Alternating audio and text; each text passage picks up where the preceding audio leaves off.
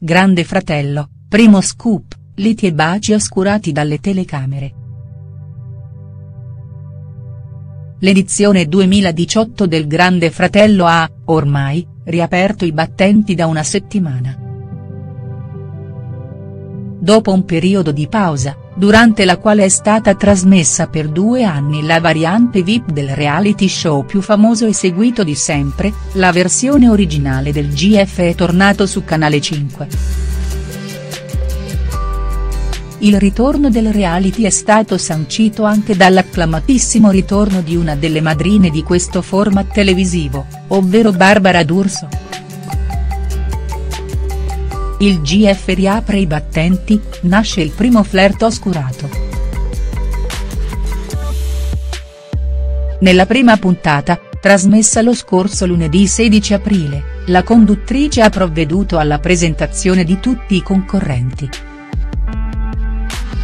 Tra questi si sono distinti individui alquanto eccentrici e fuori dagli schemi, che già stanno iniziando a destare scalpore e far parlare di sé.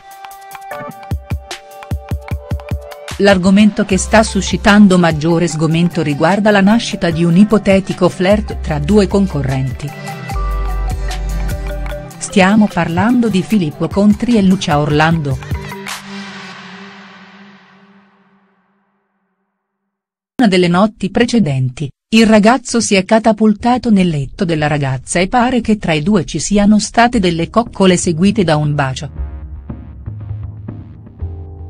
La situazione, tuttavia, non è molto chiara dal momento che, contrariamente alle precedenti edizioni, la fascia notturna viene oscurata.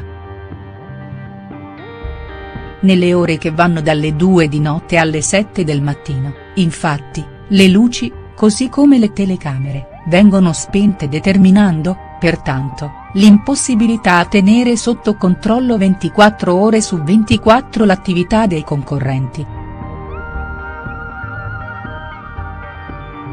In quelle ore della notte, quindi, potrebbe essere accaduta qualsiasi cosa. Ecco la prima lite per una fetta di pane.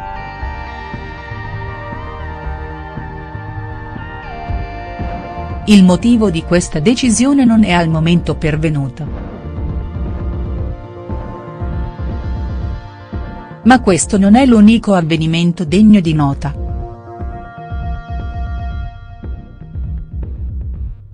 A distanza di pochissimi giorni dall'inizio del reality, infatti, hanno iniziato a farsi spazio anche i primi malumori e dissapori tra concorrenti.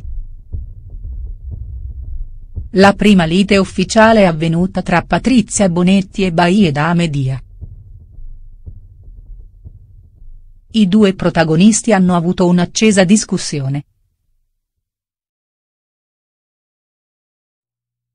La ragazza bolognese pare stesse giocando con una fetta di pane quando il romano senegalese l'ha attaccata.